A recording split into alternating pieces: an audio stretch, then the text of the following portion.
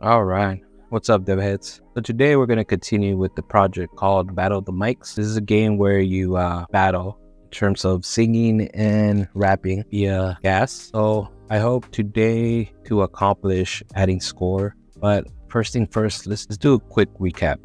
Uh, let's open the project, rap battle. Okay. Yeah, when I first created the project, I named it Rap Battle, but I'm thinking of adding singing as well. So just to show you what we did, I hit play, and it's currently ready for for multiplayer actually. So what I did was I uh, level designed two stages, all a mock-up. As you can see, there's a timer, and I'm noticing now that the timer is not replicated. So that's something that we might have to work on today. So in order for you to get on stage, I made this teleporter, which we will change probably make something more thing more fitting for this game. When you overlap, you get taken to a random stage. Same with the server, you get taken to a random stage. Later, we will add more logic where uh, if the stage is filled, the other stage will be uh, you'll be teleported to the empty stage. So let's start off by uh, trying to replicate the timer. Okay, so do this, we will have to open up the player controller. That here. Then we will have to open up the game server logic, which I made a folder called game logic, open up the player state and open the full blueprint editor. Okay, so I did not do anything there. I think it was all done in the game. And probably that's where our problem lies. Yeah, this was done via game mode. I believe this should be happening in the game state. Yeah, let me double check with my previous projects just to be on the safe side. Give me a second. I'm trying to get a recap here.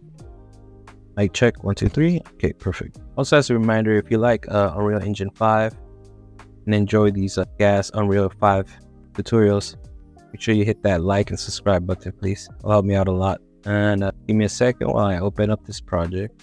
I've done using multiplayer. I think I should have placed this uh, this on the game state, but I could be wrong because the game mode is not shared. But as you can see, when you hit play, you can only you can only see this in the server, but not the client. And in the game state, I suppose it is shared amongst the server and the client. That's why we're having this bug. So we might have to uh, tweak some things. Okay, well, at least now you know. matter of fact, let me just start the process. We already, we get a recap. Give me a second. Ah, yes. The timer, the timer was done in the game state. Okay, so now we know. Do not. We're gonna try to share variables amongst other uh, amongst the client and whatnot. Not do it on the game mode because it's not shared, even though you replicate it. But what I'm just gonna quickly do is copy and paste this event, and then we'll just break it here so it won't run. Like we can even break it from here. I'll just break both. So we're gonna use the event tick because it's a timer. Again, this is not best practice. This is just for now. Paste this here and we'll move this here. And then we're going to compile and get a bunch of errors. We got to create these variables on the game state around minutes uh, and uh, round second. We don't need this, so we're to just delete it. And we need this boolean to uh, determine if the timer has started or not. Let's compile. And we're and our errors have gone away. Now we're to right click here and all the start timer function and let's make it a server call already a server call and then let's replicate replicate these variables by clicking on them and then hitting replicate it. And with this one round seconds perfect. If you want to be uh, organized which i do recommend make sure you put these variables in a category by calling it timer by making one by typing timer. Once you created one category you go ahead and create you can it saves so you can you don't have to retype the category all the time voila you now have a category called timer and as you can see it looks more prettier. And now that we got that out of the way we got to work on the hud and change the change we done by going back to the hud by going to the player controller. This is a shortcut to take me to where i want to go and then we'll click on the minutes and then we're gonna go on the function. As you can see right here we use the game mode. Let's use the game state this time get game state and we're gonna delete this and cast it to the BP. Just don't add the cast to BP game state. There you go. Drag it here, and let's get the minutes from the game state. And delete the previous variable from the game mode, and then we're gonna add the new variable from the game state this time around. Put everything together, compile, and now we're gonna do the same thing for the second. I believe it was this one, yeah. As you can see here, you can start labeling and getting more organized, which I do recommend from the start. For example, this is minutes. Let's name this, uh, I guess we could just, I guess we call it get min. And then this one is get second. Best practice, and it's, just a good, uh, just good to get used to this organization organization from the start. Again, let's go ahead and delete this and this and this because we're no longer going to use the game mode. We'll paste function, okay, and then we'll get the um, seconds. Get there you go, around second. Let's compile, and in theory, this should work, but you know, our programming or visually visual programming is debugging, so cross our fingers and hope this works.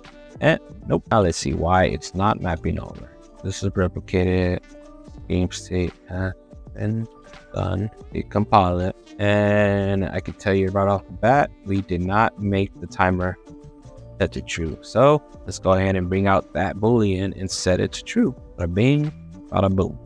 Compile, play. And again, we're having issue. The then on an Authentic, hash set to true. Second here. Let's see if our game state is being called by just calling a print screen directly to the event tick. This is a good thing to do in case you're running into bugs such as this, is to use a print. For example, if play play, right off the bat, I can tell you that the print string is not being called. Therefore, the game state is not being used. What we got to do now is see in our third person map, if the game state is not is being used, and it's not. See, using the default game state. All right, so to alleviate that, we just click on the drop down and choose our custom game state that we created a few episodes back. I'll be sure to link the playlist for the lives, uh, live playlist. You could get so if you want, you can watch the previous videos we made earlier. Anyways, give me a second. And also, uh, if you have any questions, make sure you uh, or you not don't be afraid and just send me anything you like to ask me. Anyways, go ahead and hit play. In theory, the print string should be Sammy. Alright. Got it. Now that we got that, we can uh, delete the game mode because we're no longer going to use the timer inside the game mode. And let's delete the event tick. Perfect. Now let's exit out of there and delete the print string because it was just used as a debugger on deleting, I'm going to connect everything together and test time. And it did not work. EY. I want to say this also got to be replicated, but I don't think that's a problem here. Let's use the print string a bit closer here. I mean, hello, hello, hello. And that's triggering every second, so that's a good thing. But here, if the timer is set to true, it should in theory play all this, but let's play it again that it's saying in this because it's going true, true, true. Oh, we forgot to like add numbers to our seconds and minutes. So let's set it to uh, 30 seconds and let's set the minutes to three minutes. I'll play, which is weird. Not even playing anymore. Let's uh save it because I suspected it will crash. Sometimes dealing with uh event ticks can lead to your game crashing. So best practice, always compile and save. Okay, get back to this. Now that we have a minutes, second set, must be a new issue. Let me play just again, just out of curiosity. Can't, you know what? I think it did not like the game state. Back to the, for now, let's just stick with the game state base. If you guys know what is going on, feel free to help me out and post something on the comments or chat. Hey, what's up, Sticky Games? Thank you for tuning in. So, get back to this. Give me one second while I'm setting up the chat.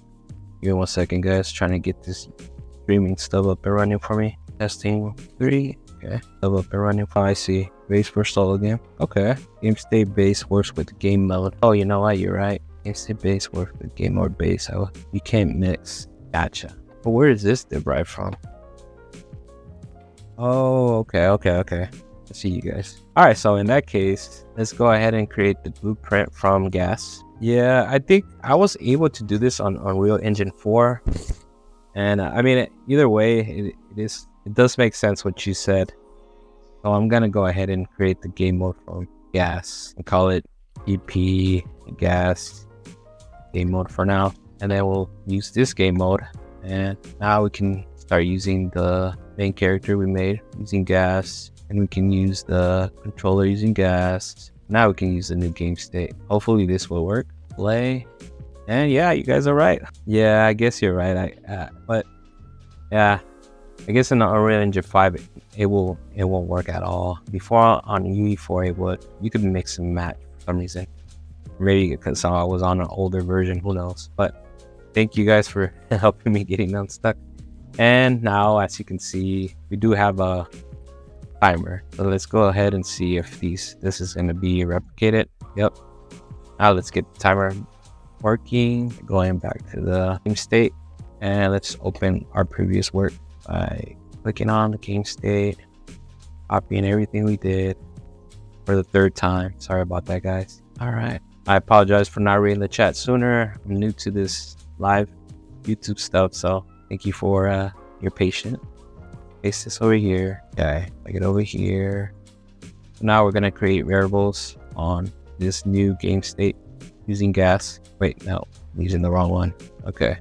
Alright, so let's delete print string like that here. Now we're gonna make these created file. Alright, let's save and wish for the best. All improver.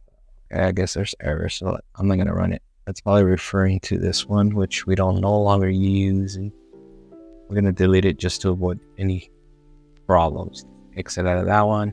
I won't get confused.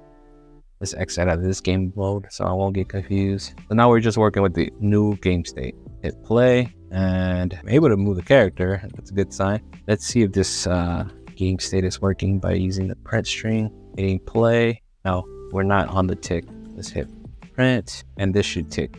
Okay, we are using this game state it is active. It's now connected to the tick, which is bad practice, but for now, just for the sake of getting things up and running, we're gonna use it. Now let's hit play and seems to still be working, but we have not set seconds set to zero, so it's not gonna move at all. I will set the minutes to two. Hit compile and hit play, and we have timer. And it's replicated. Now we have timer working for everyone in the server. Just to double check, I'm gonna do three players, do three players, and voila. Yeah, you can see it's showing to it's showing the timer to the server and to the two clients, and it's same semi-sync. Okay, it should be synced because it's being uh, controlled by the server. Anyways, now back to what we were gonna do is start working on scoring. So in this uh, game, I want to um, adding add a scoring system for the singers or the rappers, whatever we we decide to do. But um, I want the I want people to vote on the singers on the stage or the performers by either going to the blue side or the right side. So at the end of the timer, I want the crowd to decide who they're gonna vote. So whichever uh, team has the most players on their side, just by walking, uh, they're gonna win the rap battle or the singing battle, whatever we decide again. So let's do that by creating an actor. We'll uh, create an actor, blueprint, actor. Let's call it uh, red score. So for now, let's make a collision, a box collision. And when we overlap on this, we're gonna give the performer a point, depending on what team color he's in. I'll make this a little big, like that, compile it. And then on the event graph, get the box collision and click on on begin overlap. Here we're gonna work on a pointing, on a point system. So the other actor that over, overlaps is gonna be the BP main character. So if this main character overlaps with this box, we'll have to set up teams via, I want to do it via game state. I guess we can start creating variables, integers, and we'll call it red score. And then we'll create a new, another one for the blue, blue score, an integer. Perfect. It's gonna, once we compile, it's gonna be set to zero. Let's see. Okay. So now we can call the, the game state. We gotta call the right game state this time. Yes. Perfect. Or to call this, we gotta call it via the game state. Get game state this. So upon overlap, we're gonna increase the red score variable. So we're gonna get the red score variable and add to it. You either type in add or the plus sign or refer that one to it. And then we're gonna get the red score again and we're gonna set one to the red score. Keep your notes organized because believe me, you get dirty right right away. Yeah, it might not be the the best way, but for now, just to get the process started, uh, I just want to create something and we can refine it as we go. The first, yeah, it's always always a refining thing. So let me go ahead and test this out. Actually, do a print just to see if it works. All right, so it should print out one. Actually, we have to drag out the actor first. Let's put it near the red here. Then we'll increase this so it overlap the red team stage. Yeah, there is plus plus increments notes as well. I mean, there's a million ways to do these things. You could simply like, like Arthur said, you could just simply hit plus plus plus like that. But I like to, you know, show it more visually. And heck, you could even increment it by like five or 10 if we choose to. Anyways, let's hit play and nothing gets printed. Let's see, main characters overlapping it needs to be replicated, that's for sure. Let's replicate these. Yeah, like you said, I mean, you, we can use the increment node, but like I said, you could custom change the, the score and whatnot. Oh wait, we're going for the red team, yeah, and it's still not showing. See what we're doing. First off, first thing first, let's see if we're actually overlapping with this actor. And uh, make sure on the box you set the physics. So this is probably what we got wrong. Here you go, physics. Oh no, collision, sorry. Make sure you set the collision to overlap all for now. You could also do a custom overlap. We don't want to overlap with anything else. We could just select none for all and just overlap with the pawn. That also helps. Yeah. Sorry, I mean, everything comes back to me after a while of not working on Unreal Engine. So anyways, let me go ahead and hit play. Overlap with the red. And nope, still not triggering. I feel like we're almost, we're getting there. Double check with the one of the main character, see if it has pawn here, just to get a visual. This is a capsule and it is a pawn. It's set to block. Oh, you know what? It needs to be set to overlap. We go back here to the red score, click on the box. And while it is on overlap, just do overlap with everything, just out of curiosity. Oh yeah, it's working. Maybe that's why I didn't see it on the spread screen. I was blending with the red. There you go. Hello, hello. Oh, it's working. All right, perfect. Now let's see if the score prints. What I'm gonna do is change it another color. It was hard to see. Do a bright yellow and let's keep it longer than two seconds. Let's keep it at seven seconds. Hit compile, hit play, overlap, and it's one. Perfect. Hopefully if I overlap again, it should say two. Yep, there you go. Scar system's working. Boom, three. Boom, four. Perfect. Now that we have that done, we can create the scoring for the blue team. But for the sake of visual, let's go ahead and cover the whole stage to score to give the the person performing a point here. But I want to cover the whole area. Yeah, that's fine, I think. Again, this is just a rough draft. I'll refine things later. So don't expect AAA. Uh, don't expect AAA, basically. So let's go ahead and uh, duplicate this and let's call it oh that's the portal what am i doing all right let's go to the red score actor and duplicate that call it blue score and let's open this and what we're going to change here is just the variables this one i just do it from scratch okay let's get the blue score blue score. there you go add an integer to it do one let's connect this to the print string and don't forget to add it back to the blue score or else the variable won't change. So we have to set it like this. Because here you're just adding, you're just creating a variable. You're not setting it back to the blue score. So what you need to do is set it back to the blue score so that the blue score plus one can equal the new score. Okay, so let's compile, play. First of all, let's go ahead and drag the blue score now. Here, big, over the whole area. Okay, okay, okay. I don't make it too big, so I'll just center it. Also, hitting space will change our rotation to resizing, etc. It's a shortcut in case you don't know it. Move that here. Guess we gotta make it a little bit not as tall as the other one, but I don't expect other players to be jumping that high or getting on the stage. Okay, so let's go ahead and hit play. See what happens. So theory, we should get a point here.